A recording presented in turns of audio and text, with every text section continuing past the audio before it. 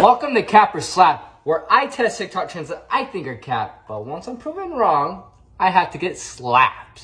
We're gonna use Ronald McDonald. Here's a fun fact for you guys. I am Ronald McDonald, and I'm gonna show some proof right now. Old MacDonald had a farm. E-I-E-I-O. All right, here we go. Moment of truth right here. Let's take this guy out. So hard with one hand, I swear. There we go. Okay.